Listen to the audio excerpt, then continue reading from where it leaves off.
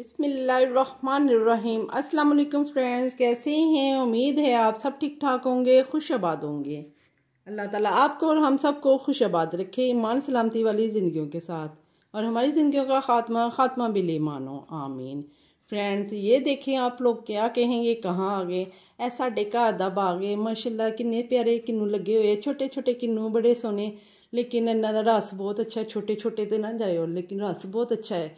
Labour लगी हुई है उनको कहा है खाएं मुलाजमों को दे देते हैं बाहर कूड़े वालों सारे जितने भी लोग हैं उनको लोगों को देते हुए ना सानू शर्म आती है लोगों ने कहना है कि छोटे छोटे सानू देंदे दे साढ़े भैन भरा भी तो फिर दिल च ना ना आ जाए कि पता नहीं है छोटे छोटे सानू देंदे ਵੱਡੇ ਵੱਡੇ ਆਪ ਖਾ ਲੈਂਦੇ ਮੈਂ ਕਿਹਾ ਅੱਜ ਮੈਂ ਆਪਣੇ ਭੈਣ ਭਰਾਵਾਂ ਦੇ ਨਾਲ ਤੁਸੀਂ ਵੀ ਮਿਲ ਕੇ ਨਾ ਮੇਰੇ ਨਾਲ ਬਾਗਾਂ ਦਾ ਕਿੰਨੂ ਲਾਓ ਤੇ ਇੰਜੋਏ ਕਰੋ ਸਾਰਿਆਂ ਦੇ ਘਰਾਂ 'ਚ ਅੱਲਾਹ ਤਾਲਾ ਇਹੋ ਜਿਹੇ ਕਿੰਨੂ ਦੇਵੇ तो आओ रेसिपी की तैयारी का आगाज़ कर लेते हैं। अल्लाह ताला के बबर के पाक नाम से मैं अपनी रेसिपी का आगाज़ करती हूँ। बिसमीम ये एक लीटर दूध लिया है। इसको जोश दिलवा लेते हैं। ये दूध को जोश आ गया है और इसमें आधा से पौना कप इसमें चीनी डाल देते हैं। चीनी डिज़ोल्व हो गई है। अब इसमें आधा कप से तकरीबन आधा कप एनफ है। जो ड्राई मिल्क पाउडर है, अच्छी क्रीमी जो होता है वो आपने इसमें डाल देना है। ये मैंने इसमें डाल दिया है और इसको थिक बैटर बना लेना है। तकरीबन इसके दो हिस्से पका लेने हैं और ये दो हिस्से ही रहने देने हैं। और ये जब ये थिक सा बैटर सा बन जाएगा कस्टर्ड सा बन जाएगा तो इसको ठंडा होने के लिए रख देंगे। और इसकी क्या करना है, किस तरह आइसक्रीम बनानी है, बहुत मज़े की, बहुत हेल्दी आइसक्रीम बनेगी। ये देखें, माशाल्लाह, हमारा जो कस्टर्ड है, बहुत थिक सा हो गया है। ये दो हिस्से पका लिए हैं और दो हिस्से रह गए हैं। इस तरह का हो गया अब इसको ठंडा होने के लिए रख देते हैं बाकी चीज़ों की तैयारी का आगाज़ कर लेते हैं ये ठंडा हो रहा है और ये देखें माशाल्लाह कितने सोने साढ़े घर ਦੇ ਕਿਨੂੰ ਅੱਲਾ ਮੀਆਂ ਸਾਰੇ ਆਂ ਦੇ ਘਰਾਂ ਨੂੰ ਇਹੋ ਜਿਹੇ ਬਾਗਾਂ ਦੇ ਨਾਲ ਭਰ ਦੇਵੇ ਅੱਲਾ ਮੀਆਂ ਤੁਹਾਨੂੰ ਵੀ सोने सोने बाग देवे तो आए बाकी चीज़ों की तैयारी कर लेते हैं और ये जो कस्टर्ड है ये ठंडा हो गया है और इसमें अब ये जो ऑरेंज जूस है फ्रेश जो किन्नू थे, उसका जूस निकाला है, वो इसमें डाल दिया है, एक कप। और साथ ही आप सब कुछ साथ ही डाल दें। ये लिक्विड मैंने ऑरेंज कलर लिया है, जेस्ट है ऑरेंज जो ऊपर वाइट पार्ट होता है वो निकाल दें, सिर्फ़ ऑरेंज ऑरेंज को इस तरह काट के ब्रीक ब्रीक कर लें। और ये थ्री हंड्रेड ग्राम विपी विप वालों की जो क्रीम है, वो मैंने इसमें डाल दी है और इसको अच्छी तरह बीट कर लेंगे। इतना ब्लीट करेंगे कि ये फ्लफ़ी सा हो जाए। आई होप आप लोगों को मेरी रेसिपी पसंद आ रही होगी। अगर पसंद आ रही है तो फीडबैक दें लाइक करें शेयर करें और कमेंट्स में मुझे बताएँ कि आप लोगों को कैसा लगा। ये 500 की होती है थ्री हंड्रेड डाल दिया है। टू हंड्रेड को आपने सेव कर लेना है फ्रीज़र में। जब ये खुल के हम बाहर रहने देते हैं या फ्रिज में रहने देते हैं तो ये खट्टी हो जाती है। तो इसलिए इसको फ्रीज़र में रखें। अब इसको अच्छी तरह तकरीबन सात से आठ मिनट इसको बीट कर लेते हैं। जब ये फ्लफ़ी सी हो जाएगी तो फिर मैं आपको दिखाती हूँ। इसको सात से आठ मिनट तक मैं फ्लफ़ी कर लेती हूँ बीट कर लेती हूँ।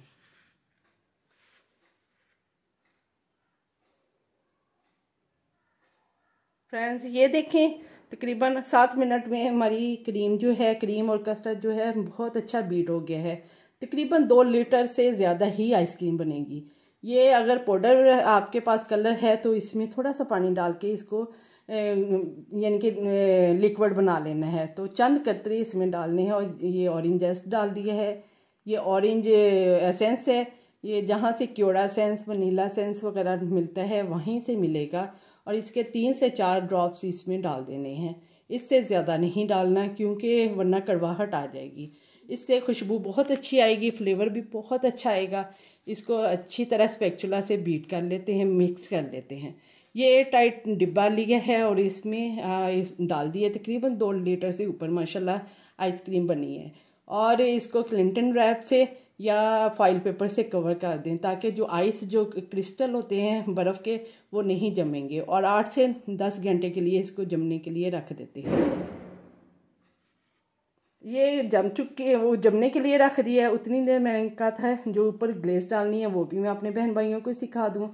ये तकरीबन डेढ़ कप मैंने जूस लिया फ्रेश और दो टेबलस्पून चीनी डाल दी। ये चीनी डाल के इसको डिज़ोल्व कर लिया जैसे चीनी पक गई है, यानी कि मेल्ट हो गई है तो इसमें कॉर्नफ्लावर जो है, एक टेबलस्पून लेना है और एक टेबल स्पून से डेढ़ टेबल स्पून ऑरेंज जूस लेना है और इसको डिज़ोल्व करके इसमें डाल दें। और जैसे ये कच्चा पानी इसका ख़त्म हो जाए मिक्स हो जाए और ग्लेस सी बन जाए और जो यानी कि गाढ़ा सा हो जाए ये देखें, थिक सा बन गया है जूस, ये हमारी ग्लेस तैयार है। आप बाज़ार से परचेज़ करेंगे तो काफ़ी महँगी मिलेगी ये हमारी ग्लेस कहाँ यूज़ होनी है मैं आपको दिखाती हूँ। फ्रेंड्स ये देखें, आठ घंटे हो चुके हैं, सर्दियाँ हैं अच्छा मौसम था जम गई है। तकरीबन पंद्रह मिनट पहले मैंने इसको निकाल के फ्रीज़र से रख दिया था, ताकि इसका जो रैप है वो ऊपर से क्लिंटन रैप जो आराम से उतर जाए। अब इसको मैं आपको सर्व करना दिखाती हूँ। मैंने इसी तरह ऑरेंज का छिलका लिया है। इसको इस तरह कटिंग की ग्लास में डाल, लगाया। और ये देखे आइसक्रीम क्यूब का जो ये होता है कटर सा, इसके साथ कर कर रही हूँ। अगर आपके पास ये नहीं है तो आप चम्मच के साथ भी कर सकते हैं। ये साथ पानी लिए है। पानी में डिप कर, करके करेंगे तो बहुत इजीली आराम से निकल आती है। और ये ऑरेंज जो ग्लेज़ है, किस तरह सर्व करना है इन आप लोग बाज़ार की आइसक्रीम भूल जाएँगे। बाज़ार की आइसक्रीम में वैसे भी कुछ भी नहीं होता आर्टिफिशियल फ्लेवर होता है, कोई ये जो दूध वगैरह कुछ भी नहीं होता। ये मैंने आपके सामने अच्छा सा दूध से तैयार की है क्रीम से, और ऊपर ग्लेस डालें, अपने अपने घर वालों को, मेहमानों को सर्व करें। इन आपको ये रेसिपी बहुत पसंद आएगी। अगर पसंद आए तो ट्राई करें, और ट्राई करके मुझे ज़रूर बताइएगा कि आप लोगों को कैसी लगी। मज़े की लगी इन ठंडे ठंडे मौसम में ठंडी ठंडी आइसक्रीम खाओ तो मज़ा लो तो मैनू अपन दुआव च याद रखो अल्लाह हाफिज़